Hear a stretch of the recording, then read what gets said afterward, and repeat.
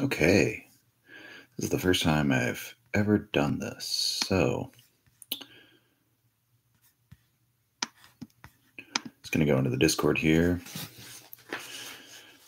Do like an Archon tag. All the important people in the Discord.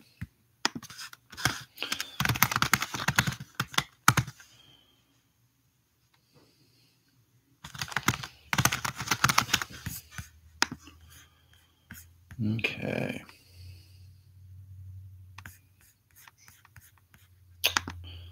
Let's see see if there's a way. There's got to be a way to share this link, right? Already got a like. That's very interesting because I haven't done absolutely nothing. Um. Ooh, easily find another device. I'm such a fucking boomer, man. I really don't. I don't know what I'm doing.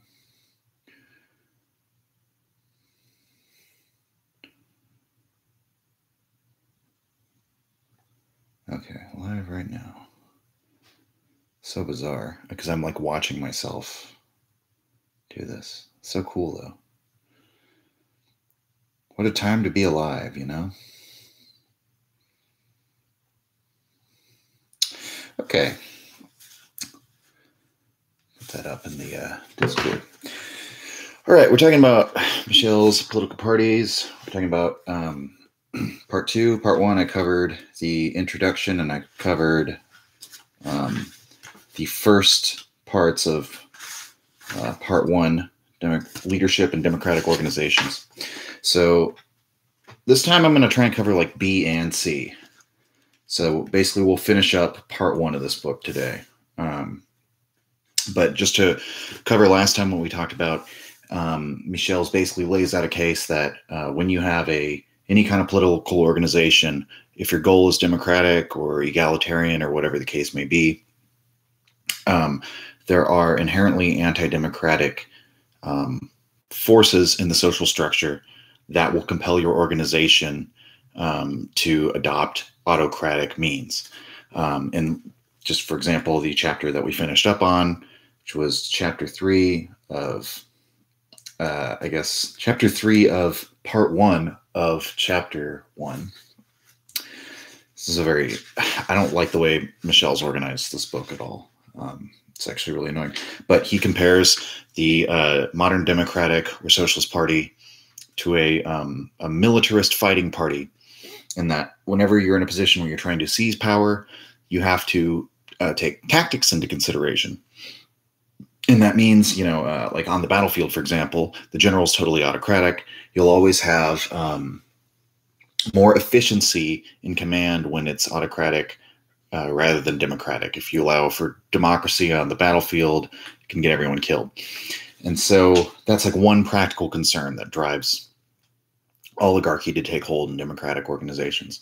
But there's all sorts of other things. The main one is that um, organization itself um, establishes um, a bureaucracy whereby people are put into their area of specialty.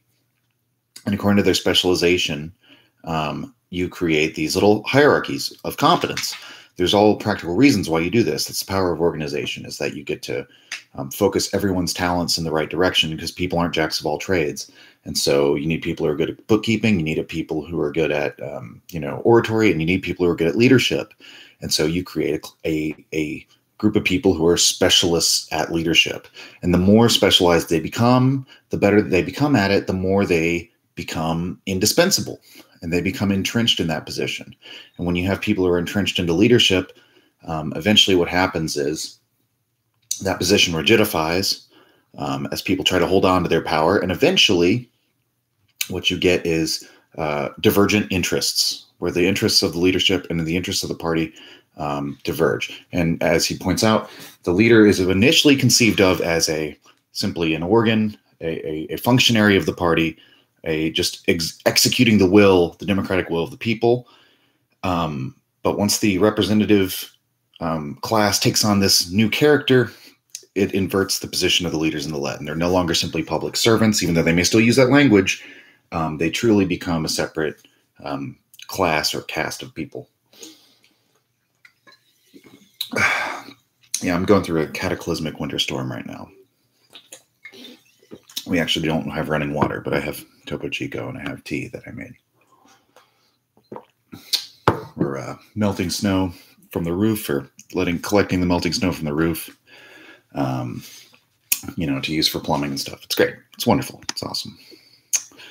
Um, all right, so so the first thing that Michels talks about in this next uh, chapter, um, he talks about uh, in the psychological causes of leadership. Um, the the first chapter is called "The Establishment of a Customary Right to the Office of Delegate," and he goes. He first talks about how resignation was often used by um, officials to actually solidify their power. So, for example, um, during the troubled period of transition from absolute to constitutional monarchy during the ministry of Ludolf Kampenhausen, King Frederick Wilhelm IV of Prussia threatened to abdicate whenever liberal ideas were tending in Prussian politics to gain the upper hand over the romanticist conservatism which was dear to his heart. By this threat, the liberals are placed in a dilemma. Either they must accept the king's abdication, which would involve the accession to the throne of Prince William of Prussia, a man of ultra reactionary tendencies, whose reign was likely to be initiated by an uprising among the lower classes, or else they must abandon their liberal schemes and maintain in power the king, uh, now become indispensable. Thus, Frederick Wilhelm always succeeded in getting his own way and in defeating the schemes of his political opponents. He also talks about how Bismarck did the same thing. Bismarck would often threaten to hand in his resignation, um, and so it's it's a tried and true um, uh, technique, I suppose. And that's how he he starts out basically. Um, the reason why he brings this up is to bring bring up how the leaders, uh, the, the way that they establish an idea of having a customary right to office is through their indispensability. As they come to realize that they were so specialized into their role of leadership that the party um, is, has come to depend on them and the way that they come into the knowledge of this power is when they threaten to resign.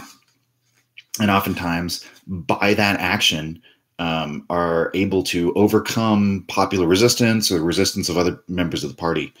Um, and so that's mainly the thrust of chapter one.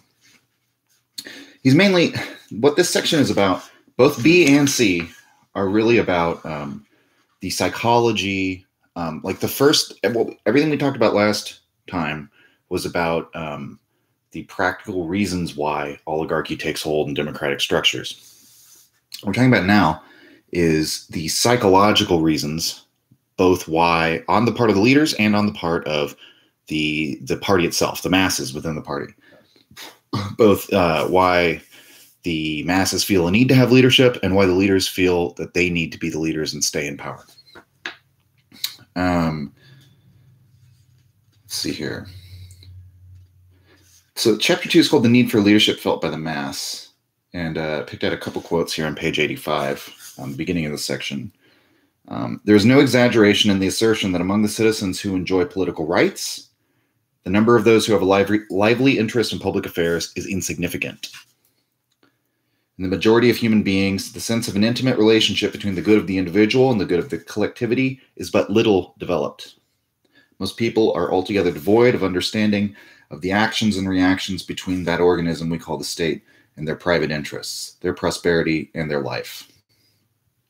Um, as de Tocqueville expresses it, they regard it as far more important to consider whether it is worthwhile to put a road through their land than to interest themselves in the general work of public administration and I guess I'll go on quoting because he brings up Stirner, and we all love Max Stirner. So uh, the majority is content with Stirner to call out to the state, quote, get away from between me and the sun, which is, uh, of course, what Diogenes says to Alexander. This is one request of Alexander is to um, a man who could, this ruler who could conceivably bring him anything. So, representative of the state, the the powerful head of state, offers him anything, and Diogenes says, "Get out of my sunlight."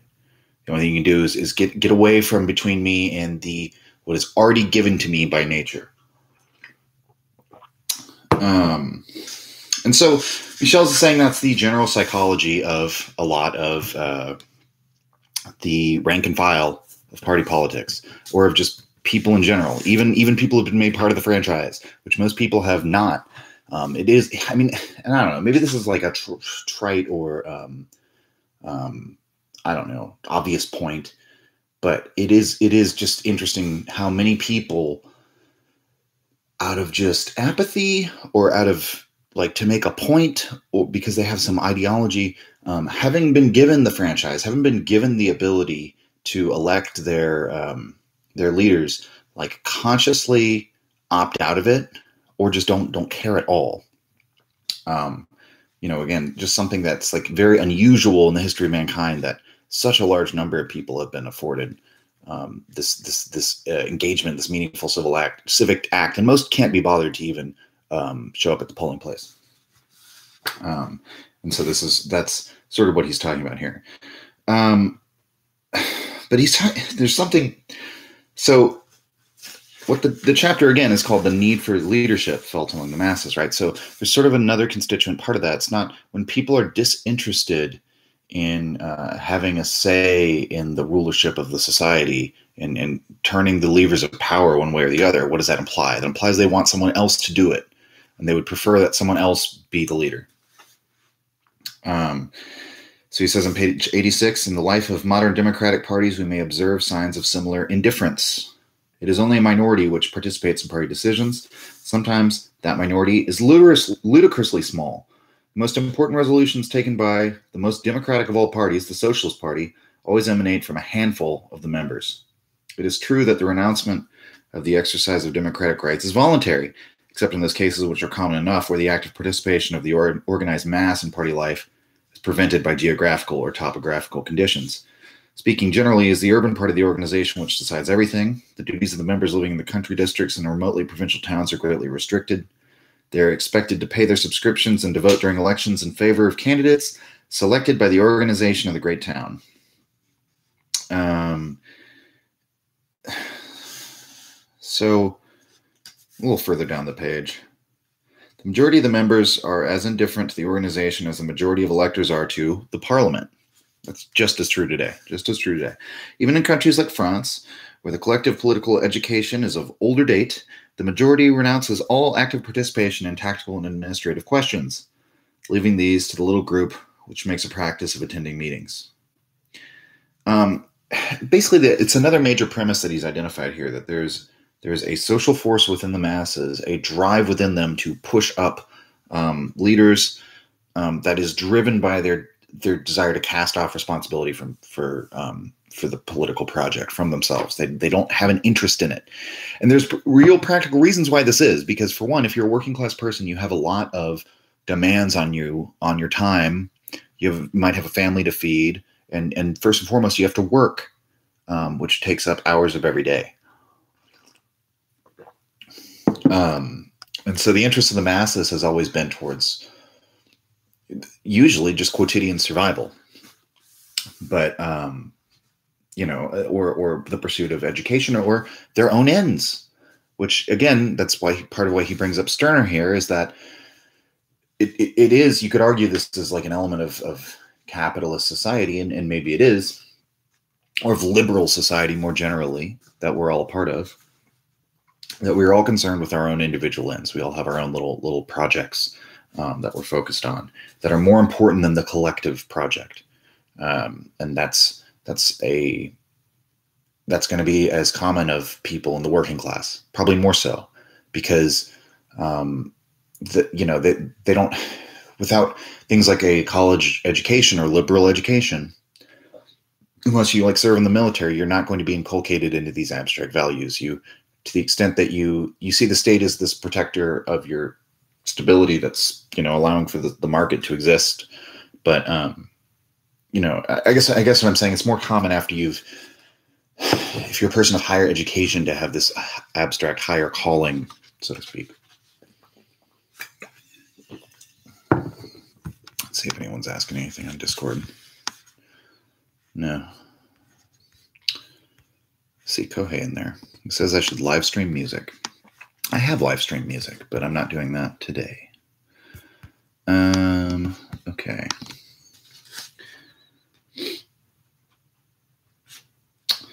So this is another example he brings up on page 87. I'll just read this whole paragraph. um, and he's not really talking about party politics here. He's just sort of talking about like in, in those days, you know, the little the town hall meeting or whatever the case may be. Um, you know, little small local community meetings. It may be added that the regular attendants at public meetings and committees are by no means always proletarians, especially where the smaller centers are concerned. When his work is finished, the proletarian can think only of rest and of going to bed in good time. His place at meetings is taken by petty bourgeois, by those who come to sell newspapers and picture postcards, by clerks, by young intellectuals who have not yet got a position in their own circle, people who are all glad to hear themselves spoken of as authentic proletarians and to be glorified as the class of the future. As we go on, I'm just going to keep throwing it out there. Does any of this sound familiar to modern day American politics? Um, because that is very familiar to me. That's the the um, the professional class of today, the the the intellectual laborers, um, most of whom are very precarious, as we all are. But um, the the notion that they're working class, it's at least questionable. But whether or not they are, they know that there there's that it's questionable, right? And they would like to be hear themselves spoken of as authentic proletarians. We we hear this even now in like online socialist discourse of people who want to um, they want to identify themselves as working class because ultimately that's a question of I'm a good person. It's this is what it's really about. Um, that being identified with a working class, it's it's a moral uh, evaluation rather than like a material reality pushing you to struggle. Um, he says further down, the same thing happens in, as in party life as happens in the state. In both, the demand for monetary supplies is upon a coercive foundation, but the electoral system has no established sanction. An electoral right exists, but no electoral duty. Until this duty is superimposed upon the right, it appears probable that a small minority only will continue to avail itself of the right which the majority voluntarily renounces, and the minority will always dictate laws for the indifferent and apathetic mass.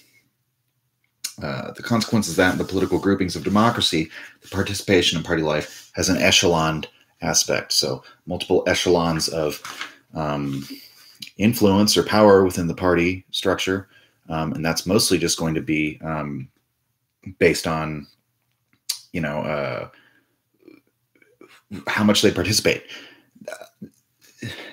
It, I mean, okay, as we get into this book further, we'll see that there's other forces, um, you know, like nepotism will come into play, or um, the people who become entrenched as leaders start to create a clique and a cult of personality around themselves and want to select their own successors.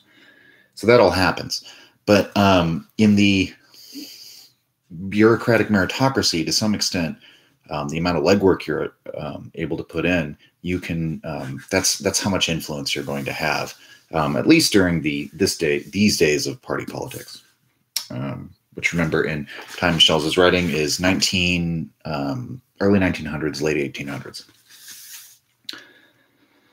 Um, oh, and I thought this was a great quote on page 88. Though it grumbles occasionally, the majority is really delighted to find persons who will take the trouble to look after its affairs. Um, this need is accompanied by a genuine cult for the leaders who are regarded as heroes.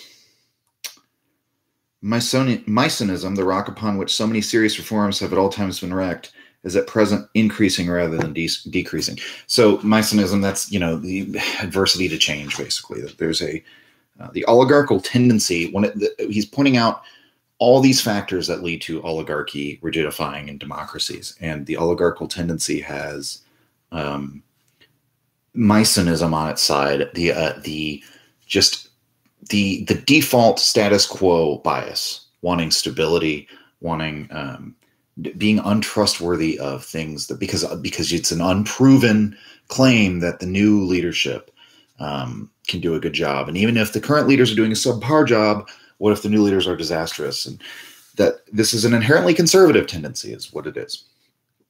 Uh, he says to this Misoneism are super added, and more particularly in the popular parties, profound differences of culture and education among the members. These differences give to the need for leadership felt by the masses a continually increasing dynamic tendency. Again, so that's the divergent interests of the party leadership and the rank and file of the party. And I kind of glossed over it last time. I, I, may have read a quote that made reference to it, but he talks a lot of in this book how a lot of the parties began to um, set up their own schools for the education of socialist um, leadership, basically. Um, I mean, it, was it was for individual like professional domains. So, you know, you would go to, I mean, basically in the trade unions or in the socialist parties or socialist societies, whatever they, they may be, if you wanted to uh, move up in the, the ranks of the party, they would either pay for you to go to get schooling somewhere in an existing institution or set up their own schools where you could learn things like bookkeeping and finance and um, manage management, whatever the case may be, oratory. You would read all these um, socialist writers as well. But that creates um, a difference um, in the culture and education, um, and therefore a difference in the the the tastes and the interests and the desires of the the leaders and the led. Uh, once again. Um, let's see here.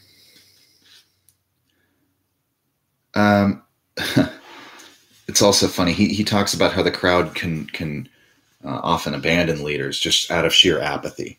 Um, this is kind of just incidental to his point, but it's it's kind of funny. He just talks about numerous times where it was like, uh, what is it? The millions of leaflets were distributed. Um, within the space of a few days, 150 meeting meetings of protest were held. All was without effect. There was no genuine agitation. Um, that's like in Saxony in 1895. When it was it was a proposal to restrict the suffrage of thousands of workers and the socialist leaders couldn't like arouse them to any genuine agitation. Um, what else? Um, well and, and, so that that said michels is not a reactionary so he rejects the um, the agitator theory of political movements of socialist political movements. Um, so he says that uh, it's it's a it's a move. It's an opinion favored by certain narrow-minded conservatives um, that popular movements are artificial products, the work of isolated individuals termed agitators. Um, in collective movements, with rare exceptions, the process is natural and not artificial. Natural, above all, is the movement itself, at whose head the leader takes his place, not as a rule of his own initiative, but by force of circumstances. That's all true. Um, the movement exists, the party exists before the leader steps into this role, typically. Um, I mean, certainly now socialism has been going on for like 150 years, maybe maybe more if you consider France. You know, define socialism in a lot of ways. But I'll read from him here. The need which the mass feels for guidance and its incapacity for acting in default of an initiative from without and from above impose, however, heavy burdens upon the chiefs. The leaders of modern democratic parties do not lead an idle life. Our possessions are anything but sinecures, and they have acquired their supremacy at the cost of extremely hard work. Their life is one of incessant effort. The tenacious, persistent, and indefatigable agitation characteristic of the Socialist Party, particularly in Germany, never relaxed in consequence of causal failures, nor ever abandoned because of causal successes, and which no other party has yet succeeded in imitating, has justly aroused the admiration even of critics and of bourgeois opponents. In democratic organizations, the activity of the professional leader is extremely fatiguing, often destructive to health, and in general, highly complex. He has to continually to sacrifice his own vitality in the struggle, and when for reasons of health he ought to slacken his activities, he is not free to do so. The claims upon him never wane. The crowd has an incurable passion for distinguished orators from men of great name, and if these are not obtainable, they insist at least upon an MP. At anniversaries and other celebrations of which the Democratic masses are so fond, and always during electoral meetings, demands pour into the central organization and close always on the same note. We must have an MP. Um, and so, what he's talking about here, um, th- there is an incredible demand on the leaders, an incredible demand for the leaders. Um, it, it, it, what he by stressing how like that's what I love about this book so much. Uh, it's it's all about the the practical, um, the ideal meets practical, and the practical limitations and contradictions and pushback to all of our idealism. And um, he's very rarely just um, you know, shitting on people or saying like you're oh like all the leaders are they were just counter revolutionary or whatever, uh, just saying they were bad people or whatever the case may be. He's just um, he's saying, look, they actually do. These people work their asses off, incredibly hard job to run these underdog parties fighting in these parliamentary systems, um, fighting against all these you know monarchist inclinations reactionaries and so on like in germany a lot of why this is really remarkable is, uh, when he's talking about the german socialist party is because they they had such um, staunch opposition from the state and from um, you know all the major um, social economic powers but that's all the more reason why the average party man doesn't want to do it um, why there's only a certain personality type that is suitable to um, attain the leadership role. They're that, um, you know, I'm sure we're all familiar with the Pareto distribution at this point from uh, old JBP, but, uh, you know, there's that 1% of people who do 90% of the tasks. And it's like that's the time and stress and energy demand on you in political life. And that's true today um, as well in all party politics. Okay. Um, chapter three political gratitude of the masses. Um, and it's pretty self explanatory. This is all of chapter three. You can see chapter four starts in the next slide. Um, it's the the it's the reality that that hard work does earn a genuine sense of gratitude and that that makes people feel that the leader is entitled to their position chapter four the cult of veneration among the, ma- the masses um, i'm just going to read a passage from from from this chapter because i think it says it all um, about and uh, actually before reading it i guess i would just say what's interesting um, a very peculiar thing in europe that very few people talk about um, I've written a couple Medium articles on this. It's going to be like a three part series, and two of the three parts are done, um, talking about um, like Protestant Christianity and like this urge to religious secessionism and uh, how a lot of these really bizarre Christian sects um, they had all these idiosyncratic beliefs and they're constantly um, I, it, created this ground, this fertile ground where anything could emerge. Um, so what's peculiar is a lot of the first experiments in what you would call like socialism in Europe actually came from Protestant, um, like breakaway sects. And the big one would be like the Anabaptists, um, where they, um, the radical Anabaptists anyway, believed in sharing all property in common. Um, also in polygamy, because if your wife is your property um, and isn't a full person under the law, that's just another object you have, well, then you should share your wife. Um, so whatever you we may think about that for modern terms, um, that was sort of like they're not Marxist socialists, obviously, right? But they were they were challenging the idea of privately held property and of property rights by inheritance and political uh, ownership of political power by inheritance, and that all this should be shared in common. Now, what happened in practice is what usually happens with these cults that preach that, um, because it's another it's another sort of um, uh, social structural force similar to what Michels is identifying here. When all property is remanded into the care of the state, because you can't just give it to everyone, um, you have to have some sort of uh, leviathan to enforce that law that there's no private property. It's a thing that you're banning and that you've made a law against, and law is only um, important so long as you have um, some sort of body to enforce that law. So, uh, what always happened is that the leader just took all the property for themselves because they were effectively the cult leader is the effective head of state. Um, and so they weren't successful, but they had this notion that, um, in accordance with the gospel of Jesus, the um, all pro- there should be no private property. All of it should be shared in common.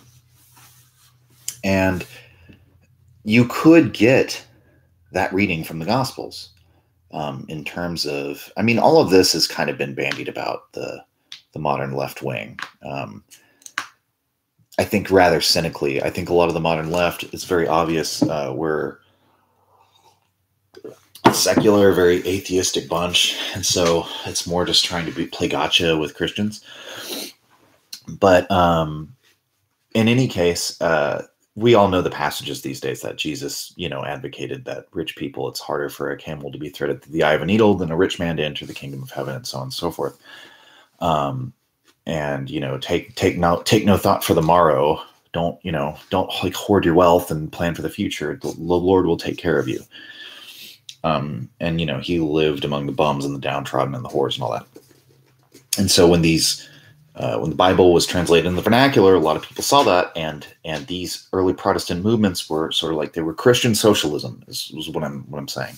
And though that dream didn't work out, just like in regular socialism, it's interesting to me. This long precedes Marx, or um, I mean, we're talking in like 1500s is when the the Anabaptist, um, like the siege siege of uh, uh, Munster, I believe believe it was. Dan Carlin has an episode about it in hardcore history. excuse me. Uh, that's what this topo will do to you. So anyway, I'm going to read this passage with that in mind. Christian socialism. Um, and I'm not saying this is influenced by the old Christians, like the Anabaptists. I'm just saying there's a, how do I put this? There's a psychological relationship there between um, like there are people like Nietzsche who have identified in modern day socialism, they've said that is um, laundered the values of Christianity in a secular form. Okay, so now the passage from Michels, page 94. In Sicily in 1892, when the first agricultural laborers' unions known as Fasci, Fasci, it's the plural of, it refers, that refers to the ceremonial axes that the lictors would carry around. Um, you know, uh, the, the lictors were like the, the sort of like royal ceremonial guard of um, like a Caesar or a, um, a dictator or a consul, even I believe, and even in Republican Rome, they would have had lictors. Um, so the, the the fasci, they call themselves fasci, and that is the root word of fascism. So um, just interesting. This is like a time predating, I guess, where any distinction between the two. You just had these workers' movements. Um, I guess you know it's it's the difference between um, international communism and national communism. So in Sicily in 1892, when the first agricultural laborers unions, laborers unions known as fasci, were constituted, the members had an almost supernatural faith in their leaders. In an ingenious confusion of the social question with their religious practices, they often in their processions carried the crucifix side by side with the red flag and with placards inscribed with sentences from the works of Marx. The leaders were escorted on their way to the meetings with music, torches, and Japanese lanterns. Many, drunk with the sentiment of adoration, prostrated themselves before their leaders, as in former days they had prostrated themselves before their bishops. A bourgeois journalist once asked an old peasant, member of the socialist Fascio, if the proletarians did not think that Giuseppe de Felice Giuffrida uh, Garibaldi Bosco. It's my best pronunciation there. And the other young students or lawyers who, though of bourgeois origin, were working on behalf of the Fasci, were not really doing this with the sole aim of securing their own election as county councilors and deputies. De Felice and Bosco are angels come down from heaven, was the peasant's brief and eloquent reply. Um, and so in this chapter called Cult of Veneration Among the Masses, I'm gonna take my hair down. I'm, I haven't like there's no running water, so I haven't showered in a couple days. So if I keep doing these vlogs, knocking them out as I am at home, I might not release them all. I might like get a backlog. But my hair is going to look worse and worse. I'm just going to generally look worse and worse. Things are going to look worse and worse around here. I'm also in like the shittiest room because it's the most soundproof. And uh me and my wife are at home all the time because all the roads are frozen. There's nowhere to go. Um, pandemic and winter, winter Holocaust. Okay. Um, it's not a holocaust. Eh, um, okay. So cult of veneration among the masses. They have, he's pointing out, again, this is on the psychological causes of, of oligarchy taking hold of democracy. Um, so we already have seen the practical reasons why a lot of people want to shunt off that responsibility from the masses into a leader figure. Well, here we're seeing that like transmuted psychologically into the religious sphere, um, and and with good reason because there is a um, some sort of uh, there's like a, a, a connection, a, the same moral thread that the um, Christians and the Anabaptists, the Christian socialists and the Marxist socialists are um, grabbing hold of or perceiving. Um, he says the adoration of the chiefs survives their death. Um, it, he he points out how, yeah, this is a good another good example. After the death of Lassalle, uh, the Allgemeiner Deutscher Arbeiterverein, of which he had been the absolute monarch, um, so that's his party, and he's referring to him as an absolute monarch, kind of cheekily, but really, yeah, he he did wield that much influence. Um, it broke up into two sections the fraction of Countess Hatzfeldt, or female line, as the Marxist adversary sarcastically called it, and the male line, led by J.B. von Schweitzer. While quarreling fiercely with one another, these two groups are at one not only in respect of the honor they paid to Lassalle's memory, but also in their faithful observance of every letter of his program. So it, it, it's very much resembling the line of transmission of a of a, a lineal um, heritable dynasty, a, a, a, heritable political power which again always go back to the introduction. Aristocratic democracy democratic aristocracy. The line between them that he is blurring throughout the, the text. Um, the masses experience a profound need to prostrate themselves not simply before great ideals but also before the individuals who in their eyes incorporate such ideals uh, that's on page 96 a little further down he says um, bernard shaw who defines democracy as a collection of idolaters, uh, in contradistinction to aristocracy, which is a collection of idols.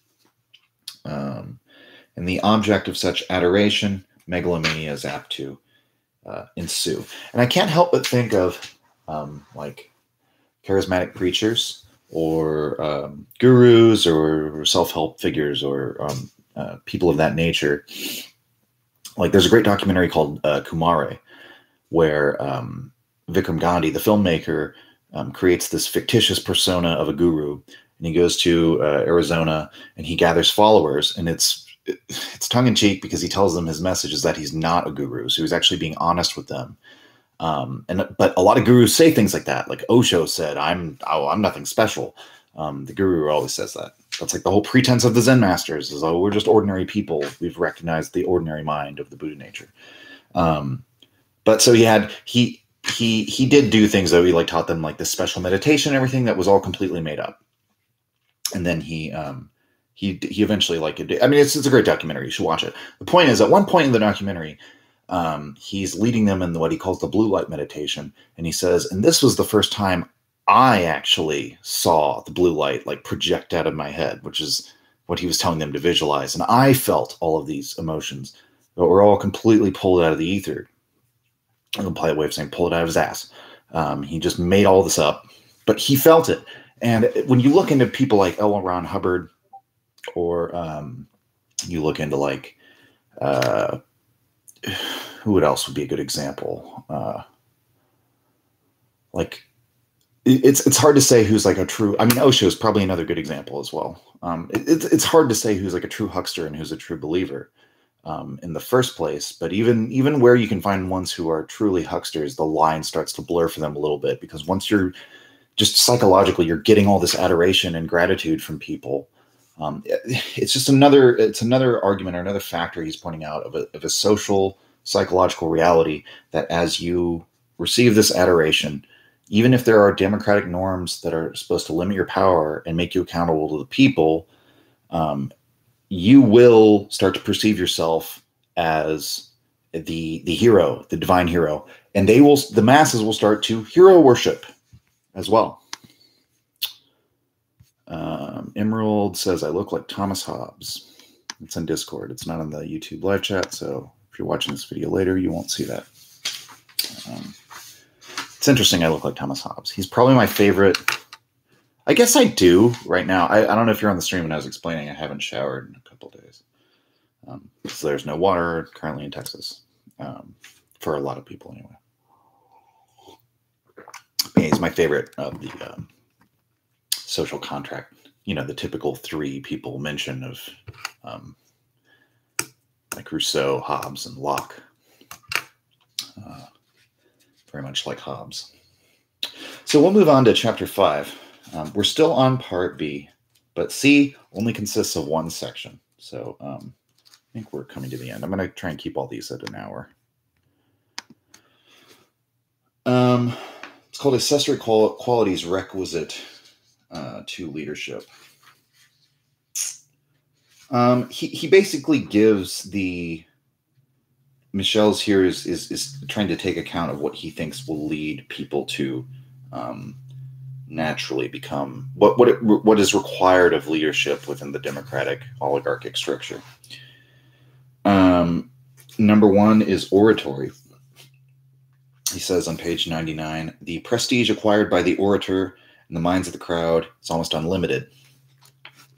What the masses appreciate above all are oratorical gifts as such beauty and strength of voice, suppleness of mind, badinage, whilst the contents of the speech is of quite secondary importance.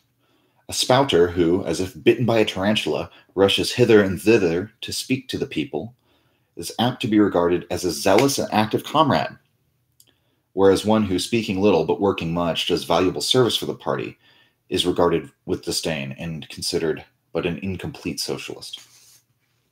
Which, I mean, so a lot of the observations that he he draws here, you know, I I'm glossing over a lot of where he he gives a general principle, uh, like of like going into the nitty gritty of of all the examples he raises, but some things like that are just psychological observations that could have come from like La Rochefoucauld, um, or or or Nietzsche for that matter, um, but that are very hard in the same way of like a Nietzschean aphorism, very hard to deny um, in common practice because we all know people, even in our own workplace, if you've ever um, you know, worked a job of the person who can talk themselves up um, while doing comparably little work um, and get more recognition than, than someone else who's more more uh, reserved. Um, the other qualities he gives that that that produce leaders in democratic systems, um, he says force of will, um, as he elaborates on that, uh, a Catonian strength of conviction, a force of ideas often verging on fanaticism. Again, reminding me of charismatic preachers because um, it's really the confidence with which you that you project and the conviction with which you say things. It's a dramatic performance. Um, it has absolutely no bearing on whether or not somebody should be believed.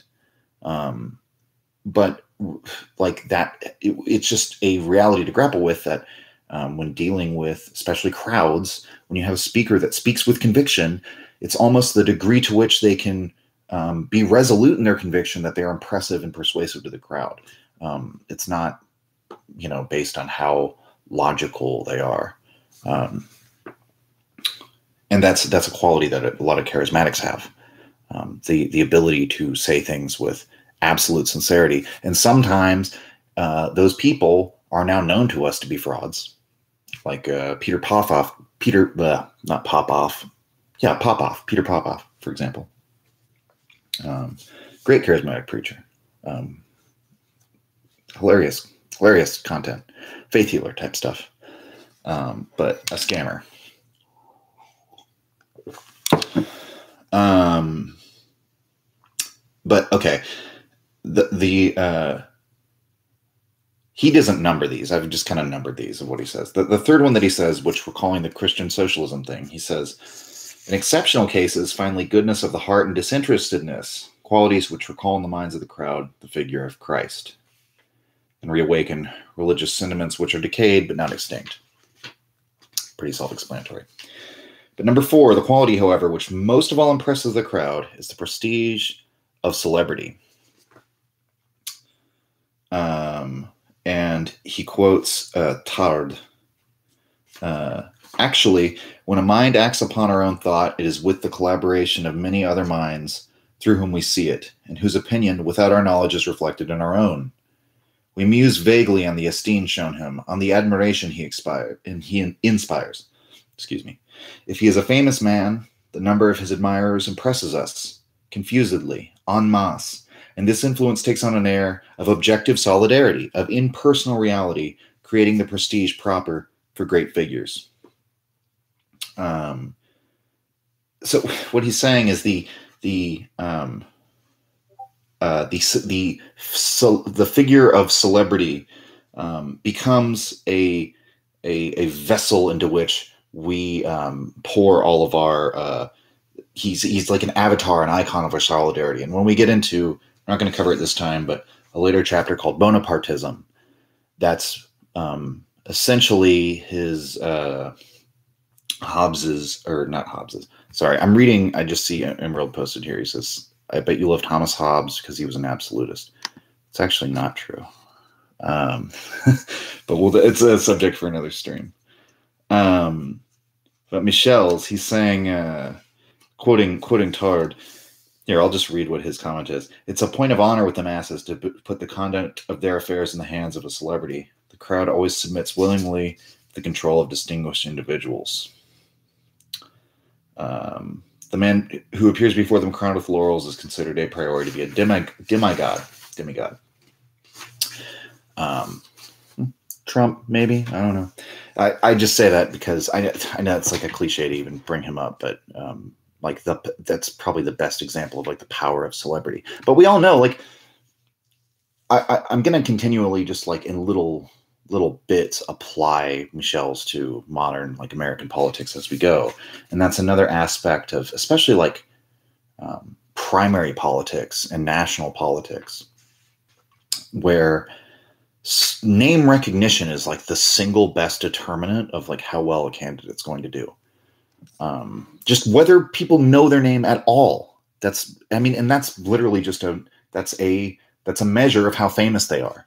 Um, now polls after 2020, I'm not going to believe any poll, and I always say that, and I always go back to like even if I have my reservations, you still see it and like ooh, like if you see a poll that like fits your um, um, preconceptions or or has an outcome that you uh, I don't know that you find uh, favorable or or it, it's it's it's the it's the effect Jonathan Haidt talks about when um, people people who uh, can like evaluate like of, of not just confirmation bias but um, being able to successfully ignore the things that you um, don't fit with your worldview. And um, like he talks about, if you see a scientific study, for example, that says that um, ca- drinking caffeine uh, can be harmful to pregnant women, he says that uh, like the number one group of people who can find things wrong with that study when they do psychological experiments is pregnant women who like to drink coffee.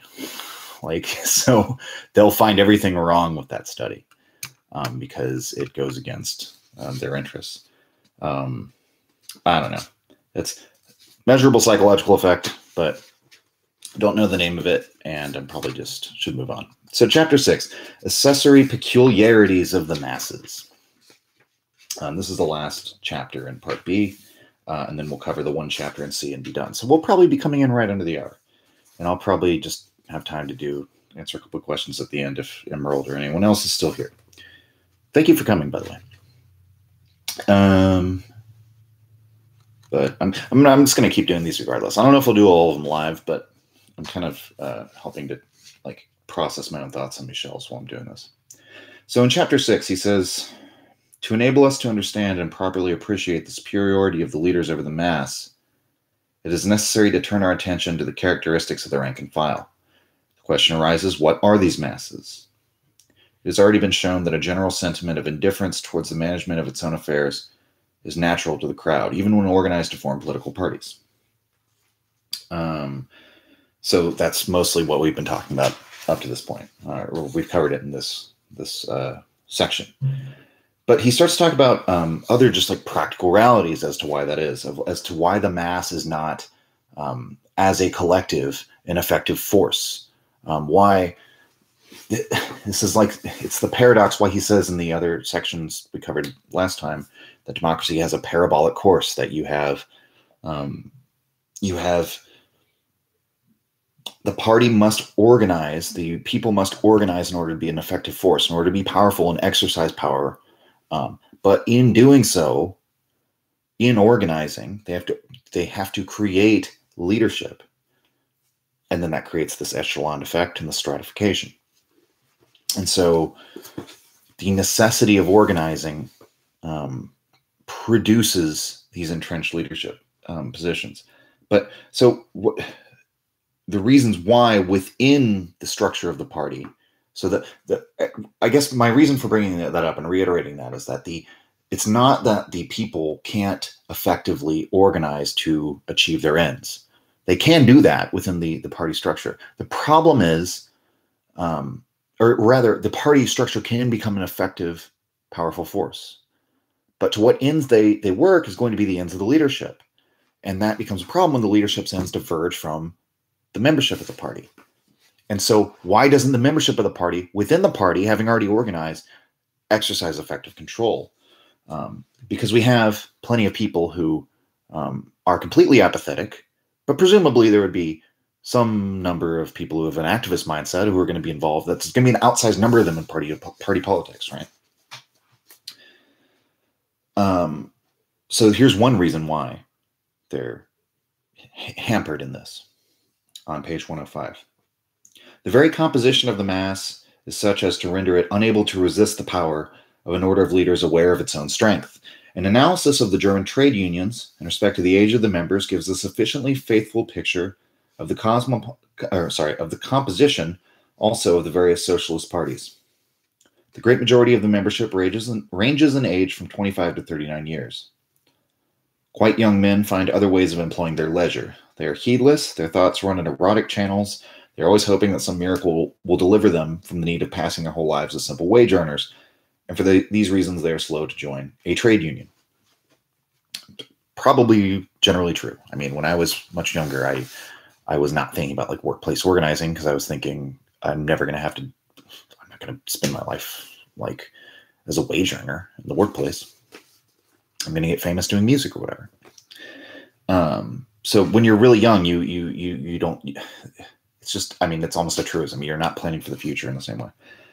Uh, the men over 40, weary and disillusioned, commonly resign their membership unless retained in the union by purely personal interest to secure out of work pay, insurance against illness, and the like. Consequently, there is lacking in the organization the force of control of ardent and irreverent youth, and also that of experienced maturity. In other words, the leaders have to do with a mass of members to whom they are superior in respect of age and experience of life, whilst they have nothing to, to fear from the relentless criticism which is so peculiarly characteristic of men who have just attained virility. So, you know, think what you will of that. He says, you know, from 25 to 39 is kind of like they don't have the wisdom of age yet, and they're not, they don't have like the fire of youth quite anymore. Um, you know, as somebody who's 31, um, yeah, I guess that's true. I don't know. What am I doing? I mean, I guess what what what am I gonna do besides stay inside during a snowstorm? Okay. Okay, and so just one point to sort of uh, wrap this up. He ties it together very nicely here. Hence, the leaders, when compared with the masses, whose composition varies from moment to moment, constitute a more stable a more constant element of the organized membership. And it, what he points out here is that um, most people, the vast majority, um, are not uh, staying in the party for more than uh, a couple years. They have the, the majority of the members spend, you know, two, three years of active membership, maybe three or four. It starkly declines once you get into, um, you know, five, six years, six, seven years. And then there's a bulk of people who have been there more than eight who are just like the careerists um, I guess maybe I can just like hold this up so you can see. I don't know if that'll. But he's basically showing that the um, there's there's a lot of turnover. Um, most people do not um, stay in the Socialist Party for their whole lives, and the ones that do are a minority, and those are the people who who gain a career interest in, in continuing with the party. Finally, we're going to talk about intellectual factors, which is part C. And that's one single chapter called Superiority of the Professional Leaders in Respect to Culture, and their indispensability, the formal and real incompetence of the mass. For a socialist, Michels really um, likes to talk shit about the mass. He's very, very Nietzschean in that respect, um, even though he doesn't barely mentions Nietzsche. Um, okay. This is page 107. With the appearance of professional leadership, there ensues a great accentuation of the cultural differences between the leaders and the led. Long experience has shown that among the factors which secure the dominion of minorities over majorities, money and its equivalents, tradition and hereditary transmission, the first place must be given to the formal instruction of the leaders, so called intellectual superiority. Now, the most superficial observation shows that in the parties of the proletariat, the leaders are, in matters of education, greatly superior to the led. See it again, it's divergent interests. It's divergent interests because there's a divergent culture. Um, they have to become, the leaders have to become more educated in order to become effective. Um, so, it's a practical reality. It's not because of evil or corruption, but eventually they become um, distinct from the party rank and file. Um, he gives a lot of examples of this. He says on page 111 the democratic masses are thus compelled to submit to a restriction of their own wills, when they are forced to give their leaders an authority which is in the long run destructive to the very principle of democracy. The leader's principal source of power is found in his ind- indispensability. One who is indispensable has in his power all the lords and masters of the earth. Um, that's just sort of a continual uh, another recapitulation of the idea that we've elaborated on that by becoming um, so it's it's like a perverse outcome of of your delegates doing exactly what you want them to do.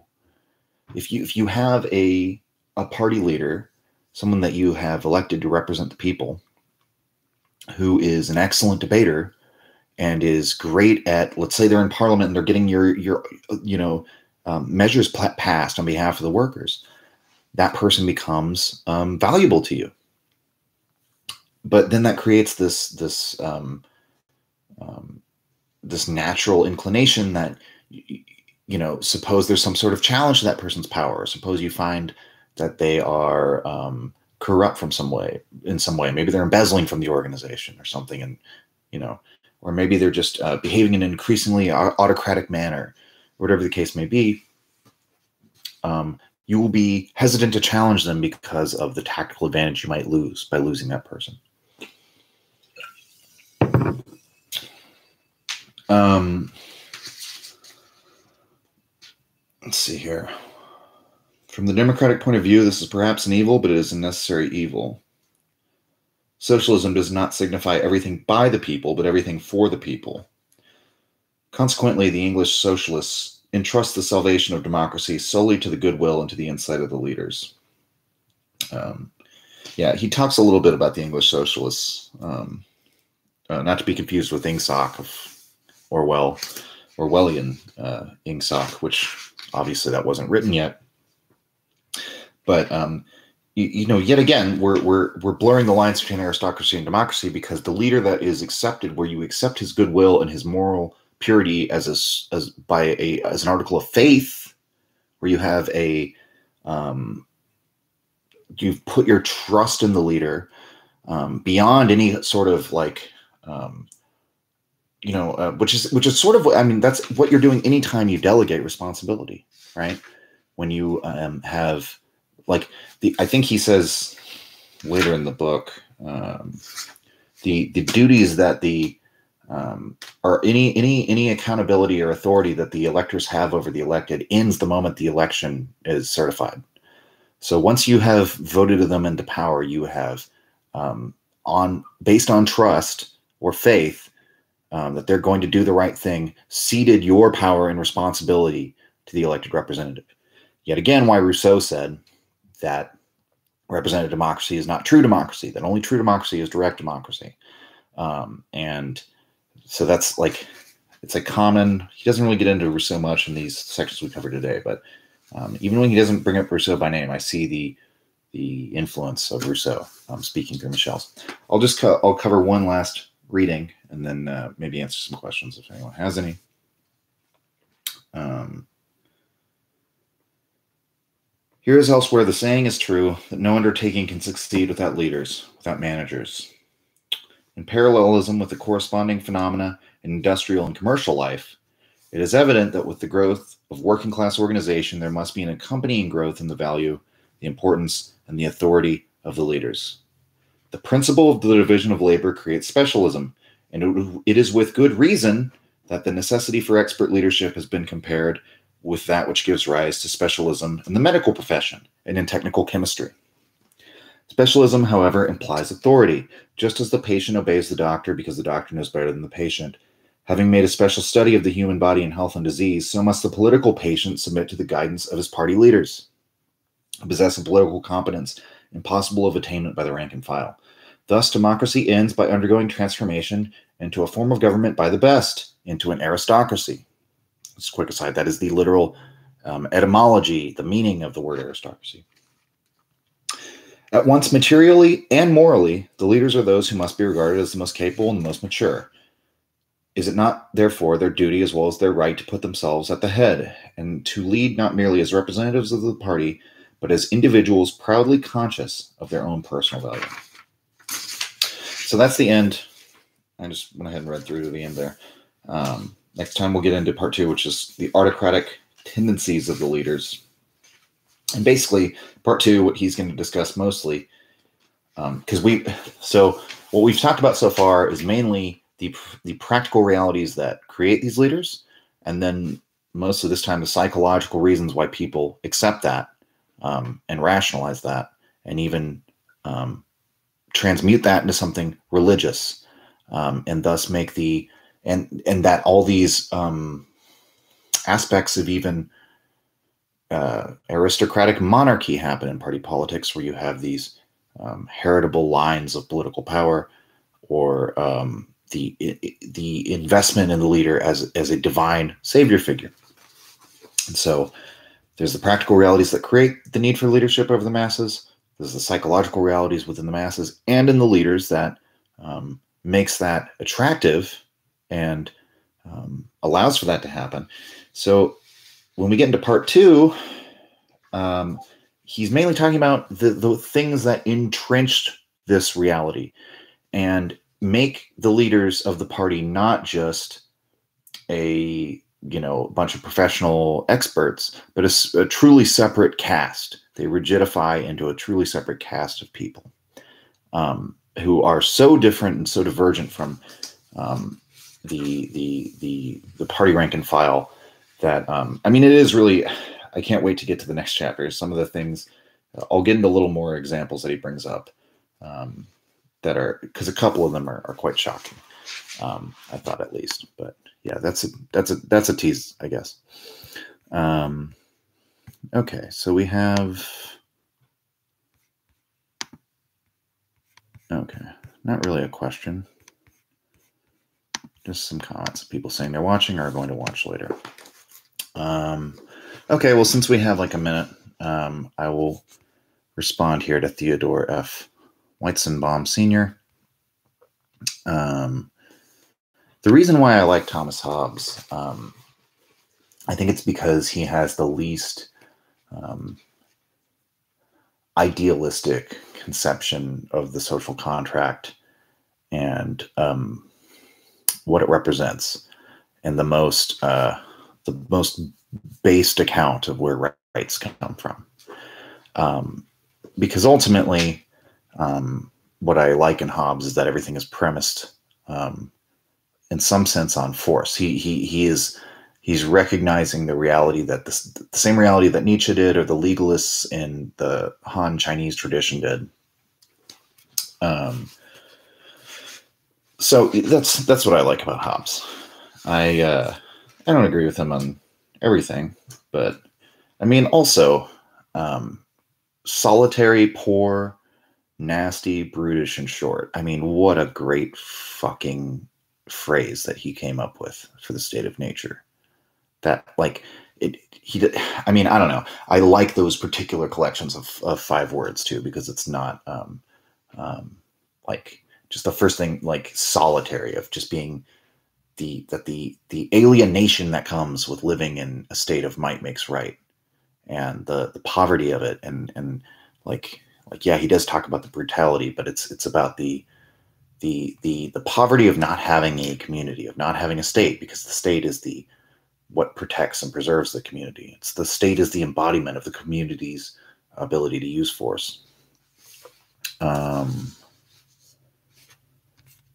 should be a public intellectual some sort of look at capitalism does to those of true ability what are you what are you trying to say man my house isn't that bad. It's not. I'm just in the. I'm in the. I'm in like the storage room. Basically, is what it is. Um, I hope you're not saying like, look, Salt's is living in shambles. He's living in absolute squalor. but yeah, I mean, it's it's. uh they, that is what capitalism has done to Texas. Yes, there are reasons why that there are reason there are capitalist reasons why the power grid is down now um, and why everything is so fucked. And that's directly responsible for the water being down because the water is out because the water treatment plants lost power. Which just happened because it was cold, because it was too cold. And we have nothing that's winterized for that level of, and that was identified as the main vulnerability in our grid like back a decade ago, and they did nothing about it um, because they're so obsessed with being completely separate from any sort of um, federal regulation or oversight. So when the federal regulators suggested that, which they don't actually have the power to tell them to do. Um, they told them to go kick rocks. Um, that'll be too expensive. But I really wonder, uh, probably going to be more expensive um, to clean up. I mean, there's like thousands of busted pipes, thousands, and thousands. Um, all sorts of all sorts of problems.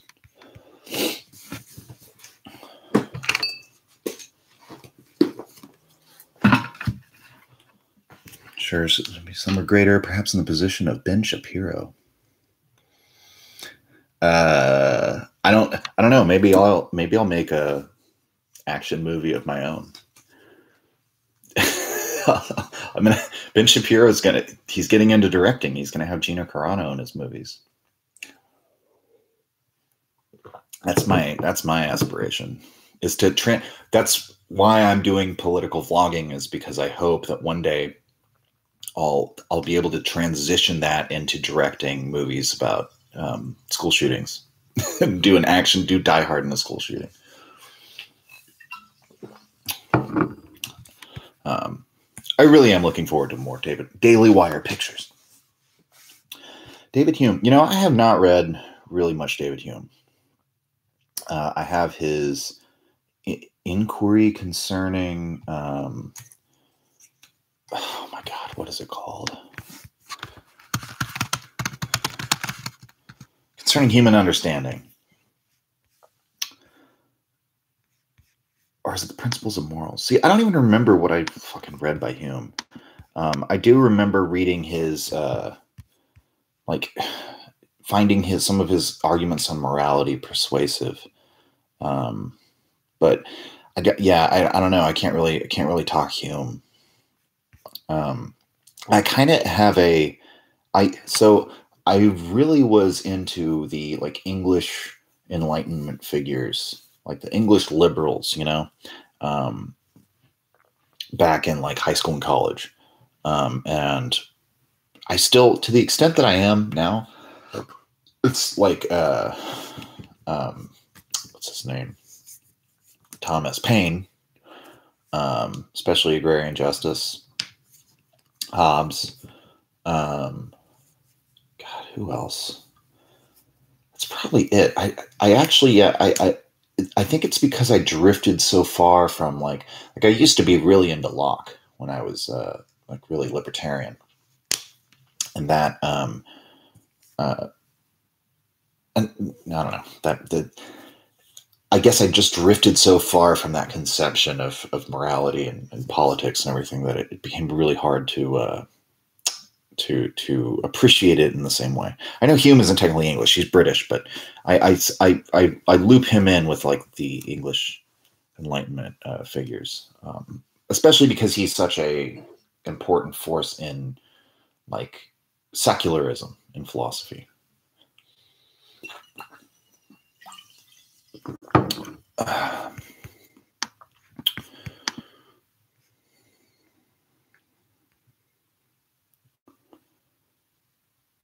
Friedrich says I look ironically like a younger Thomas Hobbes. Okay. Maybe I should the next the next uh, still image for the next stream will have to be a picture of Thomas Hobbes. It'll really confuse people. Um, because I won't talk about Thomas Hobbes at all. but yeah. Yeah, he was Scottish. He was Scottish. Okay. Well, uh, I think I'm going to wrap it up here. And then, uh, but, you know, I'll do another one of these soon. Maybe I'll schedule one where it'll be easier to get more people in the room. But again, I'm just kind of, uh, I'm just kind of, I've been slogging through this Michels' book for so long now. Um, and I keep like reading and rereading it. And I finally like started to make like marginal notes and it's like my annotated copy now, which I don't normally do. I used to be very much against that. Um, because I hated when I would go to a used bookstore and pick up a philosophy book. Um, it's like, oh, this is exactly the edition I want. It's a great price, and somebody has written all over it. But um, I'm not planning on ever selling this book. Um, I and I'm thinking as I do a deep dive into it and annotate it for all the parts I need, I'm probably never going to like fully read this again because Michels is not fun to read. Um, I I thought he would be. I like some of the stories; they're very interesting, but um, he's not. He doesn't have the. Um, I don't know. His style is very, uh, very just sort of tedious at times. Um, but uh, this is making a lot easier because um, I'm able to like talk out my thoughts on it. And like I would never do a book club on this because I know no one's going to like fall through in this because it's it's not it's not enjoyable to read. Uh, and um, got a Kant book from Cambridge University Press that was annotated. Yeah, well, and and see that's the thing too is is part of why it's annoying is if you do want to do it yourself, um, it makes it basically impossible. And like a book like Kant, you have to take notes on to really, uh, like if it's a critique of pure reason or something. Um, yeah, very, very tough, very tough stuff. But yeah, I'm not planning on ever selling this book. I'm probably never going to like read it all again in one sitting. And uh, so fuck it, you know, it's not going to ever be in a in a used bookstore for someone else to get annoyed over. And if they do, fuck them. It's my book. So I had a complete turnaround. I used to feel very strongly not marking up my own books. I'm still not going to do that for certain books that I are really important to me. But um, yeah. All right. So I was going to wrap it up two minutes ago. Here I'm still talking. So ending the stream. Bye. Thanks, Emerald. And whoever else, at least one other person, one or two other people saw this.